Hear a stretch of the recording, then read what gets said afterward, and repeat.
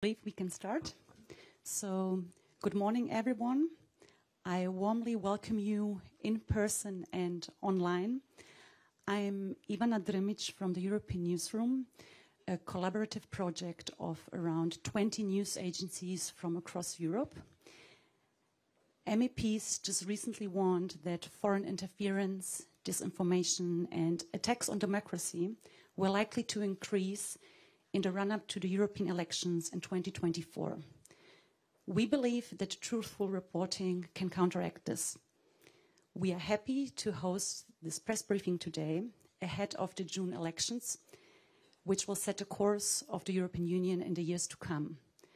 Our speakers today are the European Parliament spokesperson, Jaume Duch, and the Director for Campaigns, and until recently, Head of Public Opinion Monitoring, Philipp Schulmeister, who will present the latest data of Eurobarometer. Questions can be raised after the presentation. So without further ado, I'm giving the floor to Jaume Duch.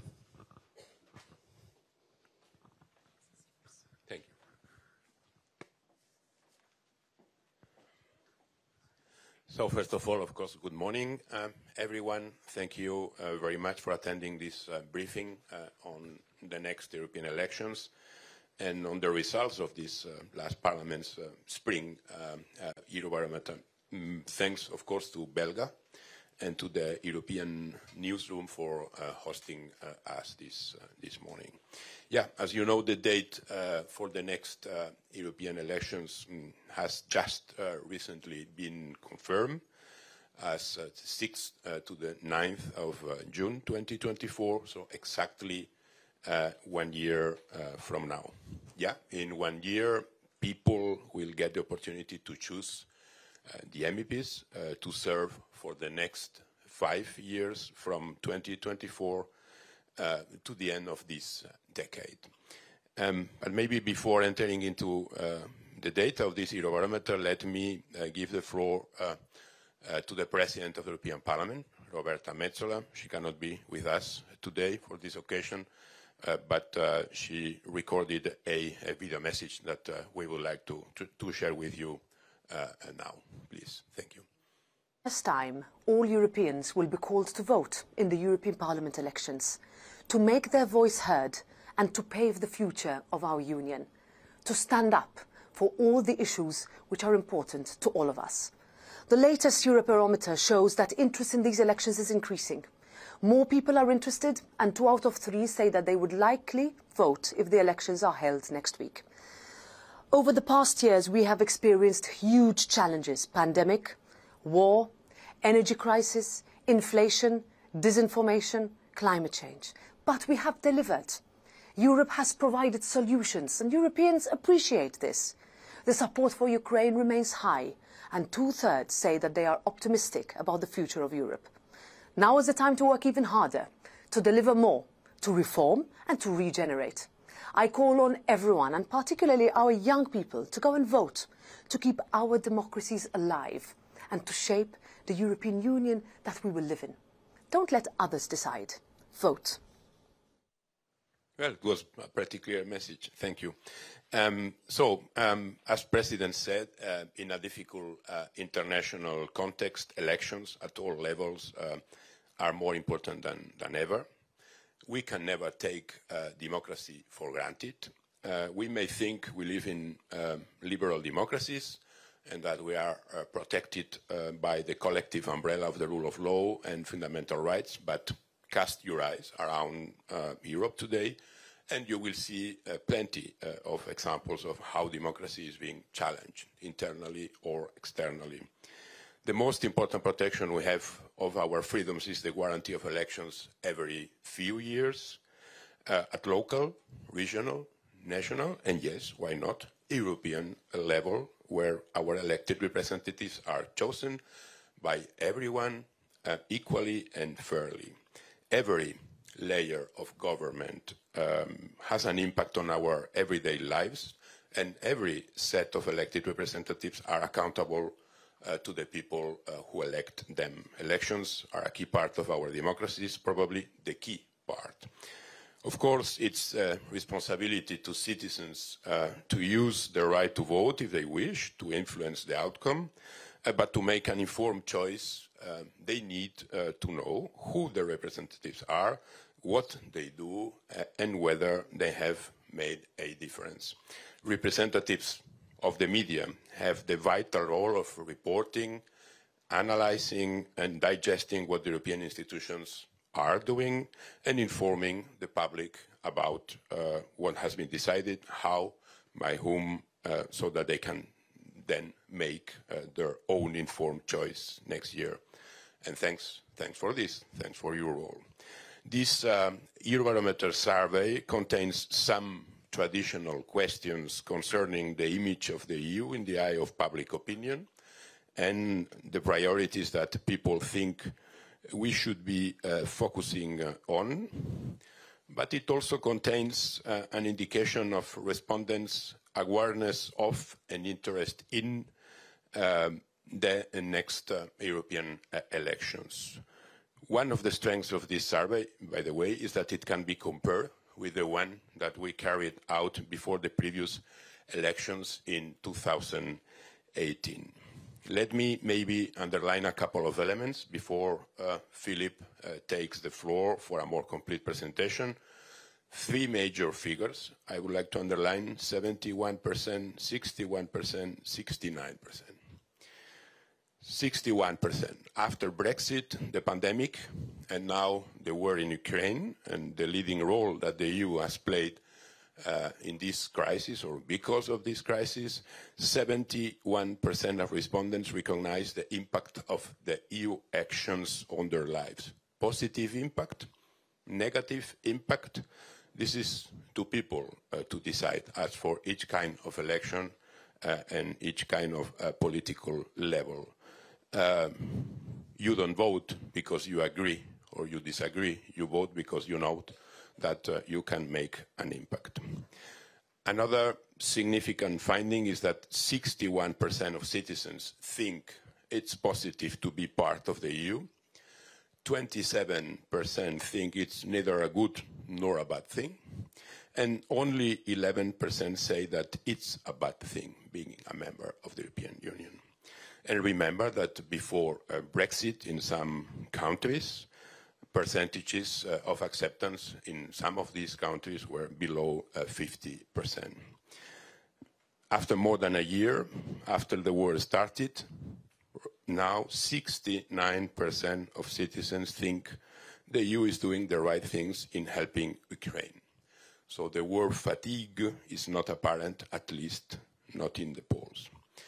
And what about the European elections? The figures coming from this survey are, I would say, overall quite good, uh, better than one year before uh, the last uh, elections. And they are probably the logic consequence of the increased uh, visibility of the EU, the, the, visibility that the EU has achieved uh, during this uh, legislature. 67% of citizens say they would vote if the elections were held next week. Of course, we know that uh, we cannot take this, this figure for granted, but, but in 2018, this same um, figure was much lower, was 58%, and turnout was 51%. Now, um, the interest is nine points bigger than in 2018. Let's expect this increase will be there as well during the elections night depending, of course, on what will happen during this last year of the legislature. And maybe a last reminder, or for journalists, people who didn't follow elections four years ago, in 2019, turnout increased eight, points from the 42% of 2014 to 50.5%. In other words, 20% more voters than during the previous elections, with increases in 20 out of the 28 member states at that time. And maybe just one last message.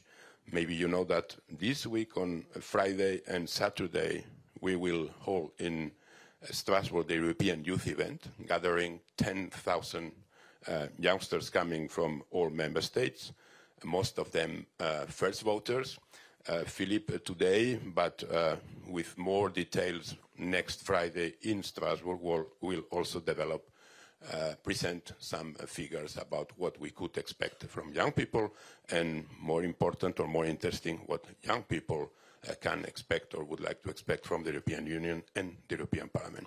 So thank you very much. Uh, and now, of course, the floor goes to Philipp Schulmeister. Thank you very much, Jaume. And uh, again, to the European Newsroom and Belga, thank you very much for hosting us today. So, now, very complicated thing for a male person. I have two things to hold at the same time. Um, it works. Excellent.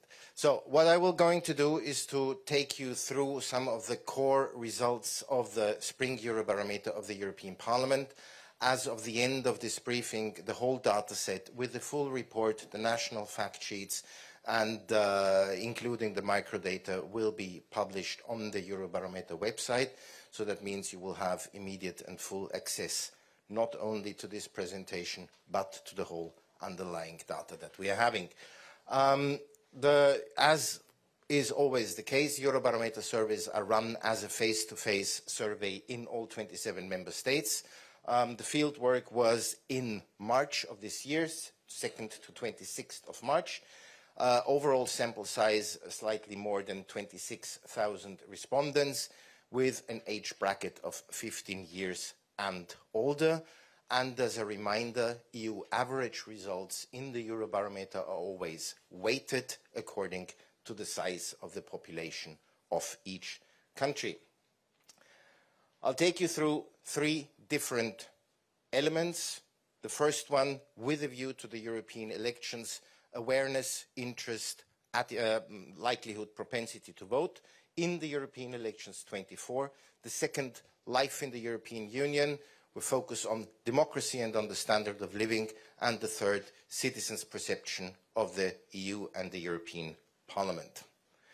One year before the European elections 24, and uh, as Jaume Duch did before, let me take you briefly back to 2019 as a reminder, since 1979 until the last European elections, turnout was continuously decreasing from one European election to the next until in 2019 we registered this increase of 8 points to 50.6. The turnout at that point in time had increased in 19 of the 27 EU member states. It is maybe also important to note that in some countries, such as Spain or Germany, concurrent national or regional elections might have driven important increases in turnout in these countries, but also in countries without any concurrent national election, uh, turnout increase was partly very, very significant. If we are now looking at the awareness of the next European elections? Very simple entry question. Do you know that there will be European elections? And if so, when? The options would be this year, 23, next year, any month, 24, May or June 24, so specific, or in two years, in two years' time. And what we can say is that already compared to autumn 22, our last Eurobarometer survey with this question, we have an increase of 9 percentage points to 45% who know the elections will take place next year. 28% today already know the exact date as in April or, sorry, May or June 2024, in itself an increase of 9 points compared to 2018. So First point of what I would like to show, indeed, people know that something is going to happen, that the European elections are coming, and they know to a higher degree than they did in five years ago. When we're looking at the interest in the European elections, so we know they're coming, we know when they will take, does it interest me? Yes, it does, and to a higher degree than we had in 2018. 56% today would say, I'm interested in these European elections, plus of six percentage points compared to five years ago. And the youth interest which is very interesting for us also, equally increases by 6% from 43% to 49% in 2023. So again, from the point of interest, a very, a very promising starting position, at least for the political discourse and debate that is to be had over the next year. And this rise in interest we can see across all EU member states, increasing in 25 member states. Only in Cyprus and Slovakia, I see a small, relatively small decrease in interest. Highest interest, Netherlands, Ireland, Germany, Sweden, Finland, and Malta. And the largest increases overall I would have in Latvia, in Italy, Poland, Belgium, and uh, Greece by up by 10% and more. Also here, you see it again with the spread, starting with Netherlands, Ireland, Germany, Finland, and Malta, and ending uh, Greece, uh, Slovenia, Bulgaria, France, Czech, Czechia, and Slovakia at the other end of the spectrum. Voting propensity. Question, if the next European elections were held next week, how likely would you be to vote in these elections on a scale from 1 to 10, 1 being not likely at all, 10 very likely. We group this in likely, not likely, and neutral. 7 to 10 would say they're very likely, likely to go to vote, 67%, not likely, uh, 17%, and 15 have a neutral assumption to this. We had a similar question back in 2018. The wording was not exactly the same. The meaning was, but the wording was not the same. So methodologically, we cannot directly compare. But nevertheless, nine percentage points higher likelihood to vote than compared to 2018. Again, this is not the turnout on voting day itself, the 9th of May 2024. But if 2018 and the figures that we had were any indication to what we saw in 2019, I would say awareness, interest, likelihood to vote is, as I said, a good starting point. Because six percentage points more than 2018 say it's important to vote in the European Parliament elections. Low importance goes down, medium importance goes down, high importance increases. So all that tells the story. People know it's coming, they're interested in it, they find it important and necessary to go to vote. Why?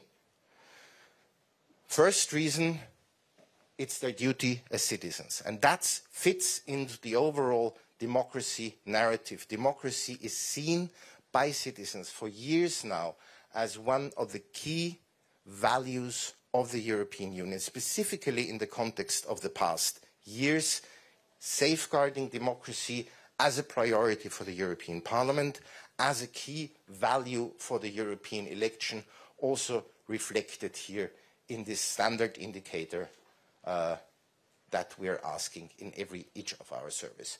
Life in the EU, democracy and the standard of living.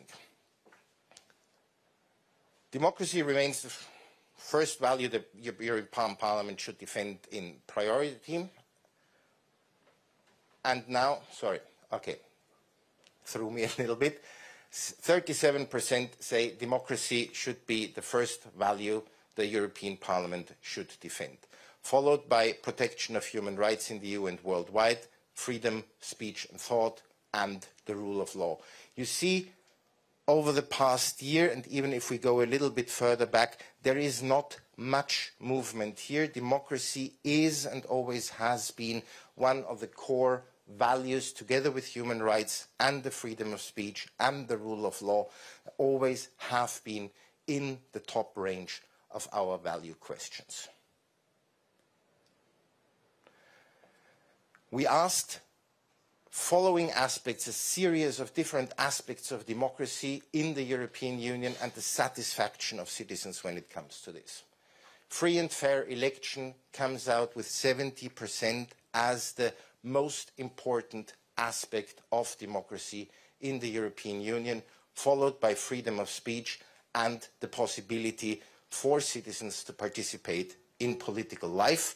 But I would be amiss not to mention media diversity and the rule of law. These are the top five elements, aspects of democracy people would say they are the most satisfied with in the European Union. This is something also that has been mentioned before. Over three quarters of Europeans continue to approve the European Union's support to the Ukraine. That is, in the overall context also of the economic development, cost of living rise over the past year, a crucial and core message. There is no, at least not in this survey, there is no war fatigue. On the, on the, on the contrary, we even have a plus of three percentage points since autumn 22 who say they strongly support the European, European Union support to the Ukraine. You will also find in the survey report a geographical uh, representation where the different countries stand on these questions. Sweden, Finland, Netherlands, Portugal and Denmark in the top five, with Ireland and Lithuania coming in above 90% support for what the European Union is doing in this area. Lowest at the under end, Slovakia, Greece with 51%, Bulgaria 54, 58, 61, then to Austria. That would be the spectrum as we see it. And this increasing or stable support for the support for Ukraine is important also in this context. Because half of respondents consider that their personal standard of living has already been reduced or will reduce over the next year. 29% say has not yet happened, but I think that this will be the case over the next year. So there is these two elements to the story. The citizens see and feel on the one hand that the crisis has an impact on their personal life, on their standard of living, but it does not impact negatively on the support that the European Union is giving for Ukraine. It does not impact negatively on how they see democracy in the European Union. And as we will see a little bit further on, it does not impact negatively on the opinion, on the way they see, on the image they hold of the European Union and uh, the, the value of being a member of the European Union. 71% say the European Union's action have an impact on their daily life. Yes, very clearly also not asked whether this is a positive or a negative impact. It has an impact. We feel that what the European Union does impacts my life. It's for the polit political side to argue what kind of impact it is, whether this is good or bad. But the impact is there and we see this with a relatively slow, uh, small spread across the European Union from 87% in Cyprus and Malta down to 60% in Bulgaria, Estonia, Italy and Latvia who say, yes, there is an impact on my life by what the European Union is doing. In this context, media recall of the European Parliament? Have you recently read, seen television, or heard on the radio something about the European Parliament? 62% yes, 38% no. And in general, 56% say what they have seen, read, or heard has given them a generally favorable impression of the European Parliament.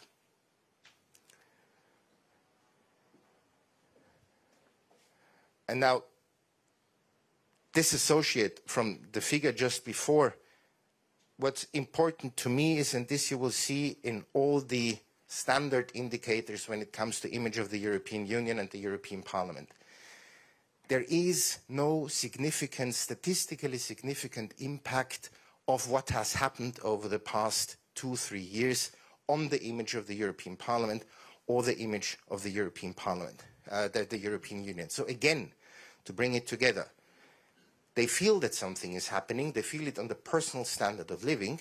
The support to the European Union stays the same. The support to the European, uh, to the to the action in the Ukraine stays the same, and the interest in the European election goes up.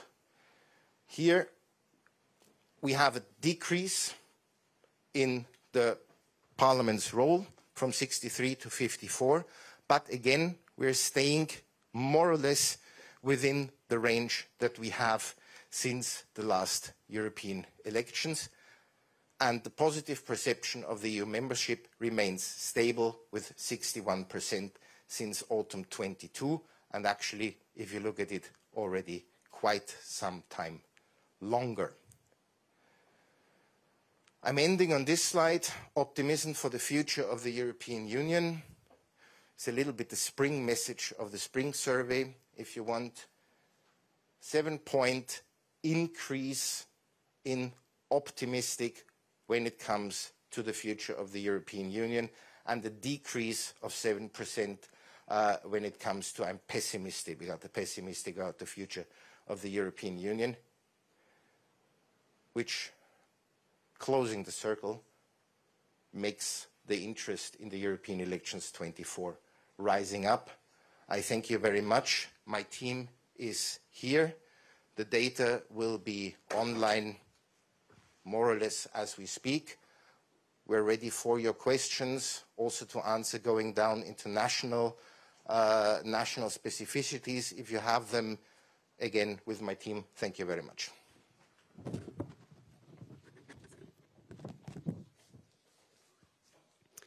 So thank you very much for the input. These are quite interesting data. I'm sure there are some questions about it. So um, yeah, we will start taking questions here in the room, but also you can raise your questions online. Um, so Irene, yeah, you can go ahead already. Thank you. Irene Zakadoula with uh, Athens News Agency and Greek Public TV.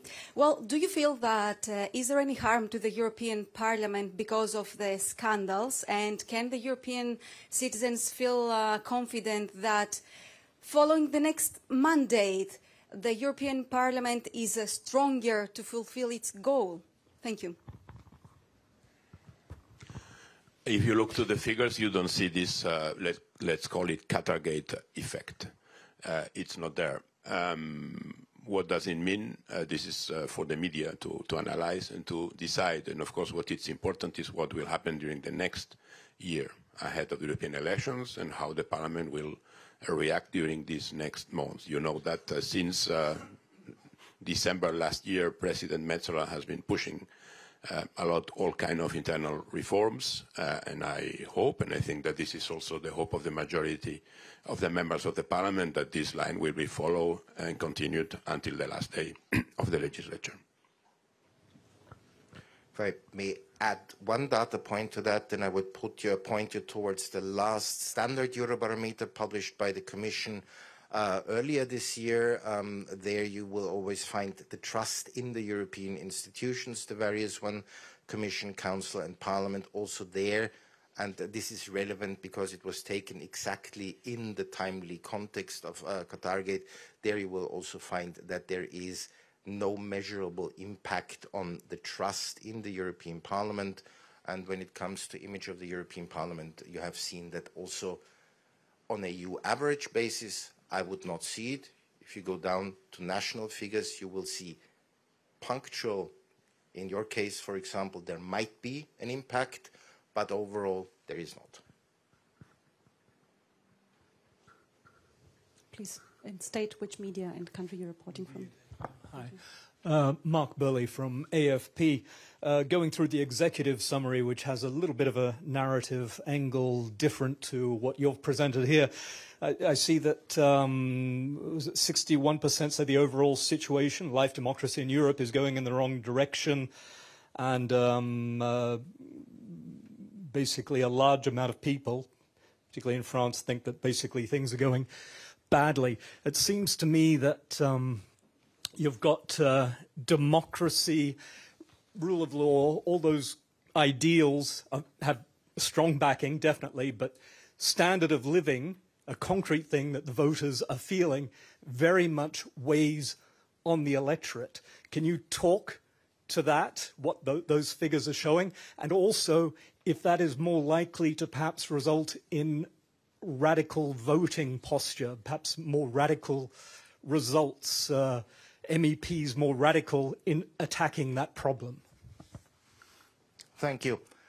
Um, had I talked about each of the questions that is in the survey, we would be sitting here in one and a half hours still, and I wouldn't be done. But, as I said before, the whole set of the questions and the answers broken down by country and social demographics is online.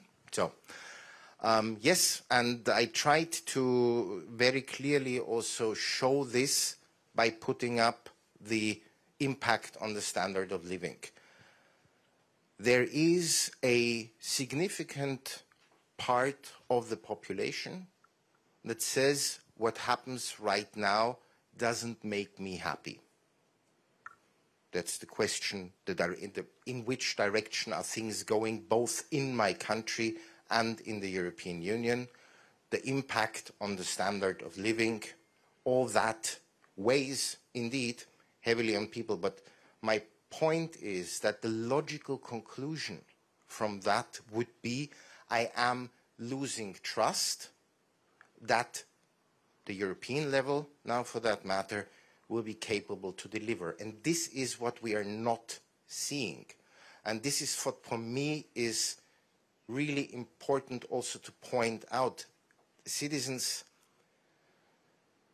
see very clearly how much they have left in their purse at the end of the month. And France is clearly one of the countries that shows this in a more striking way maybe than other countries.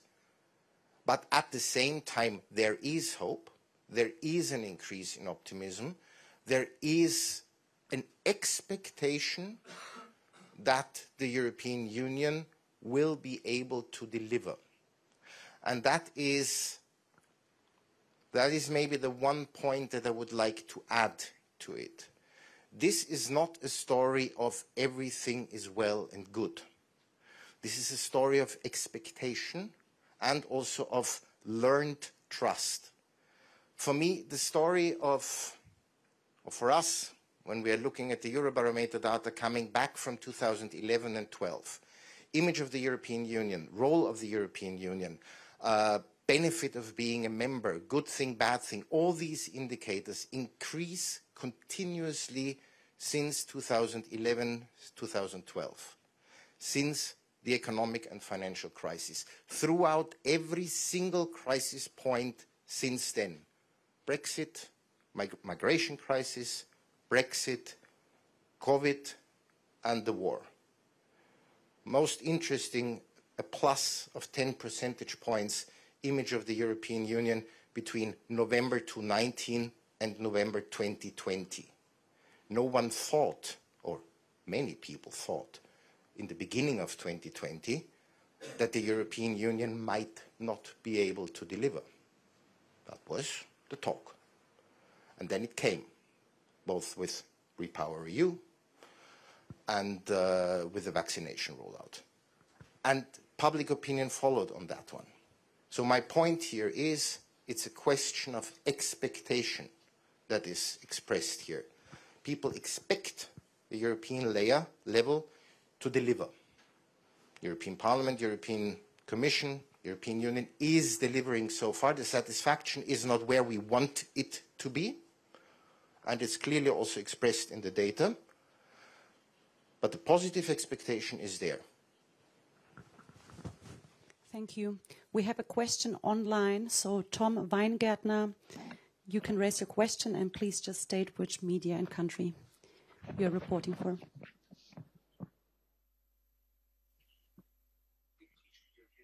Can't hear you. Can you say something? Okay. Can yeah. you hear me now? Yes, now we okay. can hear you. Okay. Um, I'm a bit surprised that you didn't find out any impact of this Qatargate. Could you perhaps uh, explain us how did you find out this? Did, did you ask people we don't care about, uh, and they told you that we don't care about uh, Qatargate, or what? What did you do to find out whether this has an impact on the image of the parliament? Thank you. Um, in the context of this survey, we had the question: image of the European Parliament, uh, image of the European Parliament, role of the European Parliament, combined with the trust uh, combined with the trust uh, in the European Parliament and the institutions as the standard uh, Eurobarometer of the Commission has seen it. Uh, I haven't seen, except in the first few months, few weeks of the year, January, I haven't seen any national or otherwise surveys that would have shown a significant and lasting impact of the Qatargate situation on the image of the European Union or the European Parliament as such, and the data that we are having in the survey today also doesn't show this. Yes, please. Uh, just say your name and media. Yeah. Uh, Igor Juric, uh, Slovenian National Television. Question regarding the support uh, for Ukraine. Uh, if I uh, see here, uh, you find out that Sweden and Finland have the highest level of approval on one side. On the other side are countries like Slovakia, uh, Bulgaria, Ch Czech Republic, and so on. So the countries which are very close to Ukraine, the support is the lowest. On the other side, uh, let's say Nordic countries, very high. Is this maybe has anything to do with the living standard?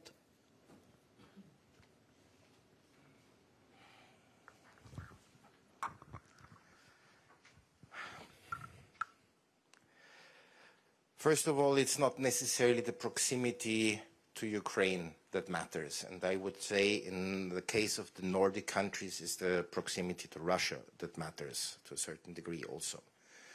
Uh, living standards might be a reason, and let's not forget uh, none of these questions that, uh, these, that surveys have have monocausal answers.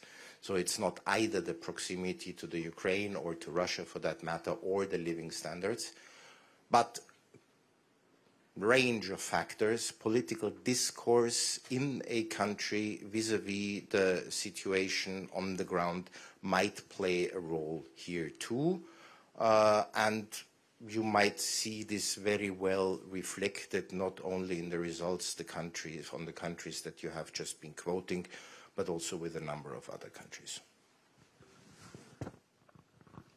Yes, please.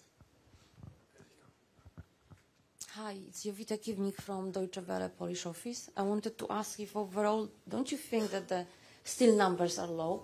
It's only 45% of citizens are aware, um, aware of elections next year. 56 is eager to vote. In the last year, Europe, years, European Union was very active in many fields, like you said. So don't you think it's low? And my second question is, what should be done to make people more interested in the elections? We have one year. Yeah, maybe uh, first thing is that uh, this survey uh, took place in March this year. So at that time, uh, it was impossible to know uh, the exact date of the European elections because it wasn't decided, you know, that it was decided two weeks ago. So I would say it was quite a tricky question for many citizens. Mm, second, I think that this is the normal uh, way of uh, looking to politics. The closer these elections will come, more and more people will be interested and more and more people will know. I wouldn't say that it's surprising that one year before or two years before, 50% or more than 50% of people know already that the European elections are coming. But of course we know, and I mean, we are not going to discuss this, that these elections competing with national elections or with local or regional elections are different for many reasons. But what it's important for us, or at least what we see as a lesson of this uh, Eurobarometer, is that there is a positive trend. If you compare with the last European elections, 2019, and the situation one year before, 2018, there is a positive trend. What's the explanation of this trend? Probably it's because of what happened during these last four years. It's because of the increase of the visibility of the European Union in these last four years, because of Brexit, because of pandemic, the vaccines, Next Generation, the certificate, and of course because what's happening now with the uh, aggression, with the, uh, the Russian war in uh, Ukraine. And um, this is also something that we can test uh, looking to media. If you take the, let's say, the the percentages and the amount of presence of the European Union in the media, European media now also compared with uh, five, four years ago, there has been a huge increase. And not just uh, in a quantitative point of view, also in a qualitative one. M many more top pages and many more first news. And this, of course, increases the interest in the Union. Now the question is how do you transfer this interest from, yes, I'm interested in what happens in the Union because I understand that it has an impact on me, on my people, on my family, uh, etc. In yes, I will vote, or no, I don't vote uh, next elections, or what I'm going to vote, which of course it's not uh, the element uh, here. Uh, what are we going to do in the next year? I would say two things. One, of course, we will run, as it was the case, quite successful, by the way, in 2019, uh, an awareness campaign, communication campaign, but but we know that those who really can mobilize or not mobilize people for voting or abstaining are politicians and media. These are the two main factors. When politicians, political parties, and media are interested in elections, people tend to be elected in ele uh, interested in elections. When the media, for any reasons, or the politicians themselves are not, or are less than in other occasions, this can come with an impact. But when you see the whole political debate in the European Union, in the institutions, around the institutions, and in the member states on European affairs. And when you see that right now it's completely impossible to distinguish, to make, a, let's say, a split between national politics and European politics, on migration, on development, on economics, on gender equality, on almost everything, of course, starting by peace in Ukraine, uh, or, or by health or how to protect health of citizens, this will come with an impact. And this is what we are seeing. What will happen in the next year? In some way, I would say it will depend on many factors, including ourselves in this room. Thank you. We have another question here in the second row. No, it should be on. Okay. Yep. Um, it's Andy Bounds from the Financial Times. Um, you mentioned Brexit a few times, but also, Philipp, I think you said from 2011 this trend of approval has, has, has been consistent. So I just wondered whether Brexit had had indeed any impact on approval of the EU with, with the remaining member states. Is there any evidence that's been found?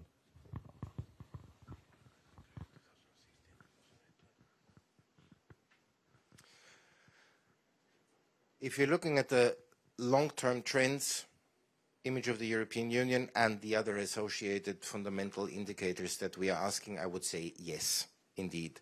But the key impact, in my view, was in the heads and minds of the people seeing what happened and drawing conclusions from that, that it would be better, clearly, apparently, to be in than out. And this is something that contributed, and we saw this in 2016, we saw this in 2019 again in the individual data throughout the countries, that yes, Brexit had this impact on how people see, how citizens see the European Union. You might even go a step further and says that certain political narratives that might have been present in a number of countries until the exit of the United Kingdom very quickly disappeared afterwards. So yes, I would say there was a positive impact on how people see. Yeah, maybe it would be interesting to go back to the surveys in 2000, second half of 2016 until 2018, because there the impact is quite visible, if I remember well, uh, in those countries where there was a discussion about in or out and there were increases of 10, even 15 points in the level of accept acceptance of citizens in countries as Sweden uh, or the Netherlands uh, or Finland. So maybe the impact was not uh, as big as, for example, I mean, I mean, the, the, impact was not very big in Spain or in Portugal or in countries that historically have been always been in favor of being members, but in those countries where there was a discussion, and sometimes the figures were almost 50-50, this impact came, and it came mostly during the first months and the first two years after the referendum, not after Brexit, but after the referendum. Thank you. Um, are there any more questions? Ah, in the back. Yeah, thank you. Thank you. Uh, I'm Katalin Nagy from Hungarian Public Radio. I would like to ask you, uh, have you any question about party preferences? And if not, why not?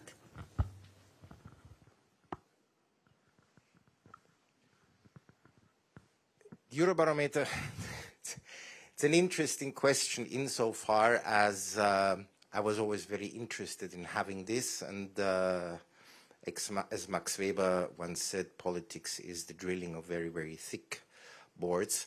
Um, Eurobarometer was always, and rightly so, uh, has to be politically neutral. I do believe that uh, the European Parliament could benefit, and the members, from having a party preference question.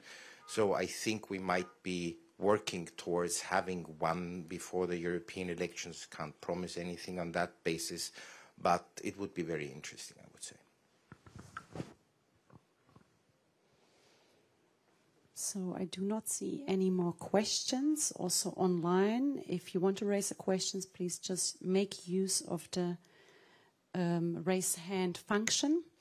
Um, maybe I have a question. I mean, these elections will be very important. We all know that. And as the Eurobarometer says, I mean, um, it's a quite optimistic um, exception, like expectation on it. So, um, what's your strategy in in communicating about the importance about the European election and to get people to vote? Um, we spoke earlier about disinformation, about foreign interference. Um, yeah.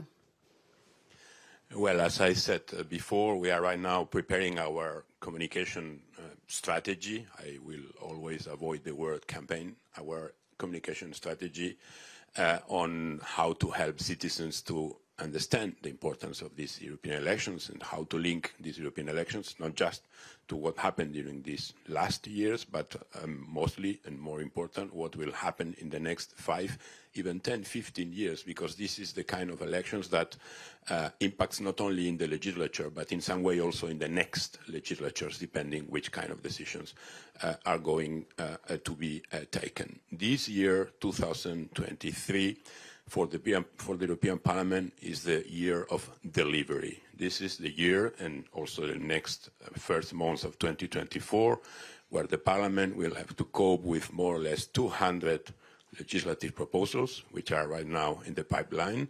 Some of them will be adopted, some not depending on the level of priority, and of course also depending uh, on uh, the possibility of getting an agreement between both the Parliament and the Council. You know that sometimes it's easier to find this agreement within the Parliament, sometimes it's difficult, sometimes it's even impossible to get this uh, consensus or this agreement or this majority or sometimes unanimity uh, within the Council. So we'll see how far the European Parliament can go in this delivery because at the end of the day, and this is also something which uh, is shown by many surveys, this trust or this positive image depends in many cases on whether there is an answer or not. And voting and who you are going to vote and if you are going to radicalize or not you vote, many times also depends on uh, your perception about how big this delivery was uh, or was not. And then during the last part uh, of our communication strategy, so the three, four months before the European elections, it will be what we call the Go to Vote campaign, which in fact it's, yes, a civic and institutional campaign to promote participation, uh, linked, of course, to the role of the European Union. And from this point of view, I would say that this strategy will be easier than five years ago, there are, because there are many more examples of the impact in the life of the citizens, and then at some point, obviously, preparing the ground for the real actors, who are the European political parties, the national uh, political parties, the members of the European Parliament, uh, and the candidates. Uh, we'll see how these things are evolving next year. Of course, there is also a question mark, and I, I'm almost surprised that this question didn't come here about the Spitzenkandidaten, for example. Today we saw the Greens, yesterday we saw the Greens announcing officially that they are going uh, to, uh, to present, uh, to enter into an internal uh, process uh, to select uh, their own or, or, yeah their own candidate or candidates to the presidency of the commission. This is something that is going maybe to create a lot of extra interest here in brussels and hopefully also in many member states. Thank you very much. We have a question online. So danielle weber from luxembourg you can raise your yes, question hello, this is Yes, hello, this is Tania with the Luxembourgish Public Radio. I just have a question, a follow-up uh, on what you just said on the party preferences. You said we might have that in the future. Maybe you can explain um, the procedure to change that. Uh, who will decide and, um, you know, how long would that uh, take uh, to take such a decision? Maybe you can explain the process a bit here. Thank you very much. Thank you very much. Um, the whole procedure is intrinsically linked to uh, what the European Parliament is going to do uh, during election night. Uh, those of you who have been around in uh, 2019 will remember the European Parliament will be, has been, and will be the place where you will get not only all the 27 national election results, but out of that one, during election night, um, the aggregated European result uh, for the next European Parliament. In order to understand, in order to prepare for what is going to happen on election night, in order to enable us to assess the data as it's coming in, starting from turnout uh, with the different projections throughout the evening, uh, it is important to have a very close eye on polls, voting intention surveys that are going to be published between now and the European elections. Now, this is, to say it floppily, a mixed bunch when it comes to quality. There are countries who are will be publishing uh, five European election voting intention polls uh, every week. Uh, there will be other countries where there is not a single one between now and the European elections, which makes an aggregated prediction and understanding of the political situation complex and difficult. Having, you're using the Eurobarometer with its unified methodology throughout all 27 member states as a tool to understand voting intentions might be something that could very much help us on this way, and this is a decision that will be taken over the next months until early autumn uh, by the hierarchy in the House. Thank you. I don't see, oh, there's one more question. Okay, then. Hi, I'm Marie Dusquet from the Belgian news agency Belga. I just wanted to know if you could uh, remind us why it's so important to have the young people on board for this election. Uh, the question would be why not? Uh, mm, I mean, uh, first of all, um, Philipp uh, shown to you uh, the progress that we started to to get to see in 2019 in terms of uh, participation turnout. There is one figure, which is 50.5%, more or less, almost 51%. This was uh, the overall uh, percentage of uh, turnout in 2019. But of course, behind this figure, there are other figures. Um, young people voted less than average. First voters, so from 18 in a couple of countries, 16 or 17, to 25 years old European citizens voted less than average. But there was an important increase. I would say it was a, a bigger increase than the average one. Why? Because in 2014, only 28% of these first voters really voted. 28% in 2014. Five years later, in 2019, this figure moved from 28 to 42 percent. Okay, it's still less than 50, and it's still less than the average, but from 28 to 42, there is a difference. Explanations for this uh, increase, there are many. Mm, if you go to literature on this, you will find a lot of uh, data country by country, which implies that this was linked, for example, to climate change, uh, to uh, mobilizations among young people, including street demonstrations uh, during several months before the European elections. This was maybe more evident in some countries than in others. Now the question is uh, um, whether we will see again an increase in uh, young people voting or not. And of course, for us, the institution, the parliament, but maybe this should be even bigger than just the parliament. This is uh, a priority for many reasons, and maybe the first reason is that these are probably the elections that are more clearly shaping future for these new generations. Uh, because at the end of the day, what will happen at the European level will probably have a bigger and a longer impact than national decisions, uh, let's say, year by year or in the short term. And then there is also, I would say, an institutional uh, duty which is linked to the fact that most times people who start I mean, people who get the possibility to vote because they get the age for voting and don't vote, many of them could develop a kind of abstention trend uh, all over their lives.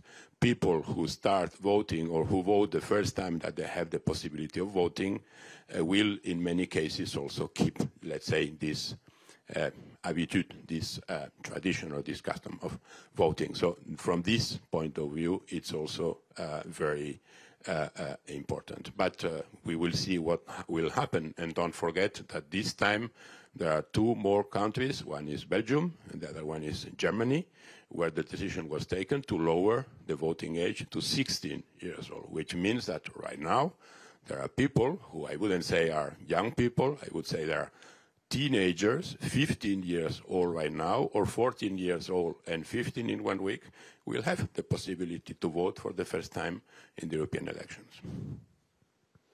Thank you very much. Um, there are no questions left. I also don't see any online. So thank you for your input, um, and it's quite interesting data. The data are now also online. Here in the room, we have handouts. Um, and yeah, thank you for attending, and have a nice day. Thank you very much.